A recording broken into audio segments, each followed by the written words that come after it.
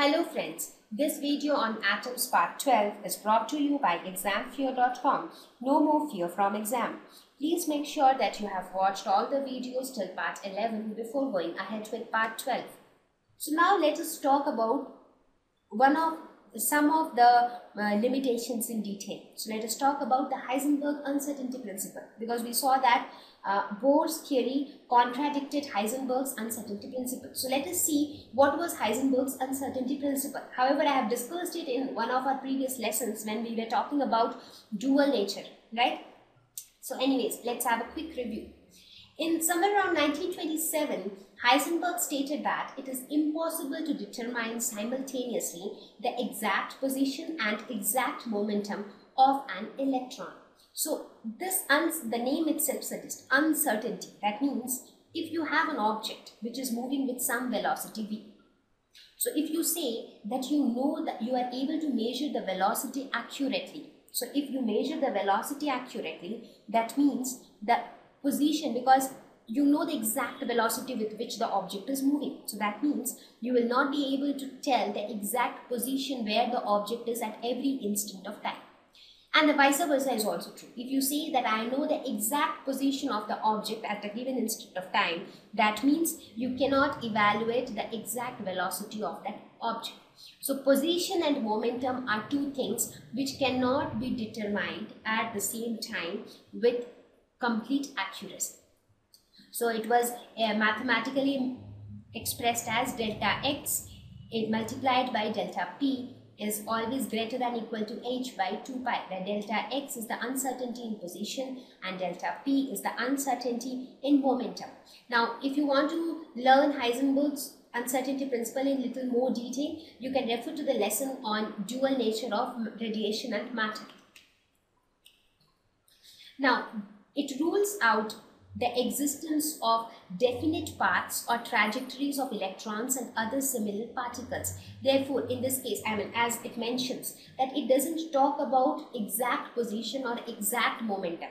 So that means it, it will not talk about definite paths of electrons because Bohr's model was talking about uh, a definite or a fixed circular path which the electron was following. But if Heisenberg uncertainty principle is true, then electron cannot have a definite circular path, right? Because we will not be able to define its position and momentum accurately, right? It therefore means that the precise measurements, precise statements of the position and momentum of electrons have to be replaced by the statements of probability. So we can never say that the electrons will move in this circular path and the electron's position at this point is this. So every time we have to use the word probability. That means there is a probability that electron that the electron might be at this position. Whenever you say that there is an uncertainty, that means there is a probability. If you say, for example, I'll give you a statement. Let us suppose if I ask you, will you be coming to school tomorrow?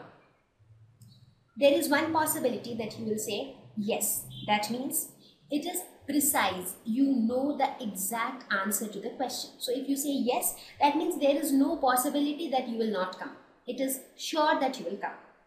You say that no, I will not come. So that is also precise statement. Now, if you say there is a probability that I might come, that means there is a possibility that you can come, there is a possibility that you cannot come. So this probability comes into picture when you are not sure of something. So Heisenberg told that we can never be sure of the exact position or the exact momentum at the same time.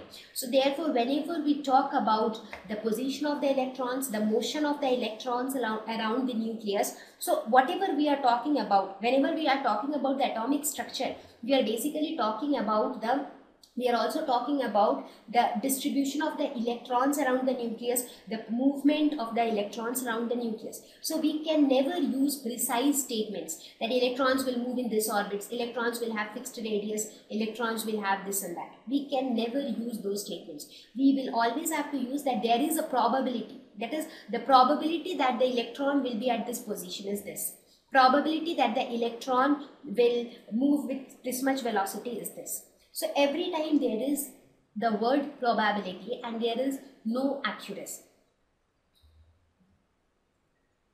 The effect of Heisenberg's uncertainty principle is significant only for motion of microscopic objects and is negligible for that of macroscopic objects. Right, here we are talking about microscopic objects, right? We have spoken about all these things in uh, the lesson on dual nature. That why uh, this de Broglie's theory or Heisenberg's theory, they apply for microscopic objects and not for macroscopic objects, right? Okay, so because it, it talks about those objects which, have which have got greater mass, uh, which have got lesser mass, but extremely high velocities and all, right? So right now we are talking about atomic structure. So we are talking about, we are dealing with the microscopic objects. So in this case, the Heisenberg's uncertainty principle plays a significant role. So this is how Heisenberg's uncertainty principle uh, was contradicting was contradicted by Bohr's theorem. The next one was de Broglie's hypothesis, which talked about the wave-particle duality of matter.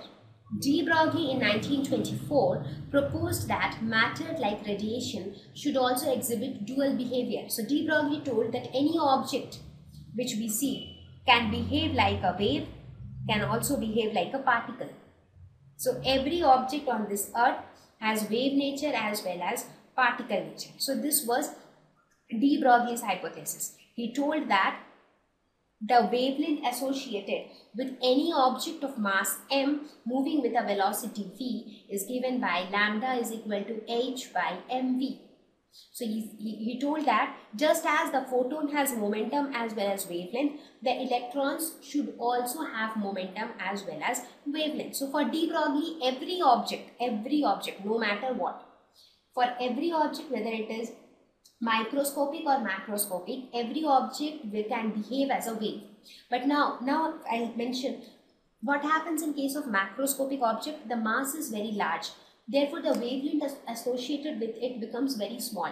Therefore, when the wavelength becomes very small, the wave nature is not much visible. Right? Therefore, in the macroscopic world, you do not see particles behaving like waves because the wavelength associated with them is extremely small. That's what is written here. The wavelengths associated with ordinary objects are so short because of their large masses that their wave properties cannot be detected. The wavelengths associated with electrons and other subatomic particles can however be detected experimentally because their masses are extremely small. For an electron, the mass is 9.1 into 10 to the power minus 31 kgs, which is an extremely small mass. Therefore, the wavelength associated with the electron is not that small. It is, it can be detected experimentally. But if you look at the Bohr's theory of atomic structure, he never spoke about the wavelength associated with an electron. He spoke about the wavelength, the wavelength which he spoke about in the Rydberg's formula, that is the wavelength of the radiation which was emitted when electron jumps from a higher energy level to a lower energy level. But he never spoke about the wavelength of an electron. He never spoke about that. He always considered electrons as particles which are moving with a fixed velocity in a fixed orbital radius in circular orbits around the nucleus. Right? So that is how Bohr's theory also contradicted the wave-particle duality of matter. Now we will look at de Broglie's explanation of Bohr's postulate. So here, however, we saw that Bohr did not take into consideration the wave-particle duality concept of de Broglie's proposal. However, de Broglie was able to explain the postulate which was given by Bohr. Which was which postulate are we talking about? The postulate which told that the angular momentum of an electron is integral multiple of h by 2 pi. This postulate was also explained by de Broglie in his way. So according to de Broglie, an electron which is moving in a circular orbit can be treated as a particle wave. So electron in circular orbit can be treated as a particle wave. Right? So this is, let us suppose this is the nucleus and this is the electron. So it says that the electron which is moving in this circular orbit can be considered as a particle wave when it is not drawn properly. So it can be considered as a particle wave of this sort. So now just remember the example of the string. Let us suppose if you have a string. If you pluck the string from here, what happens? Several number of waves are formed. Many wavelengths are formed. Now out of these many wavelengths die out because some are formed on the left, some on the right so that interference take place and they die out. So only those wavelengths survive where the net wavelength is an integral multiple of n lambda. Right? That is what was the concept of nodes when we spoke about, when we talked about waves. Right? So for an electron in an orbit of radius r, this is the radius r. So what is the distance that is traveled by the electron? It is 2 pi r that is the circumference of the circle. So if this distance traveled by the electron is integral multiple of lambda, only then the wavelengths will survive.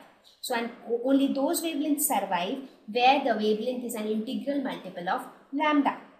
So from this we can say 2 pi r is equal to n what is lambda according to de Broglie hypothesis lambda is equal to h by mv.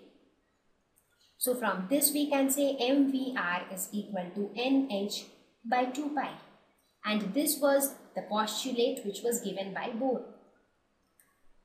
Right? So we can see that the same postulate which was given by Bohr considering electron as a particle, we arrive at the same postulate considering electron as a wave.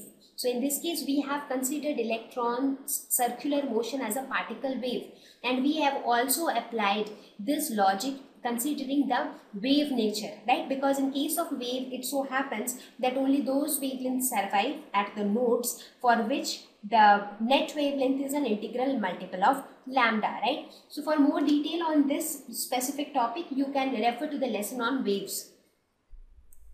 Thank you. Please visit examfear.com to watch free educational videos, try free online tests, get the best quality study materials, study from the best tutors and mentors, and much more. Thank you once again.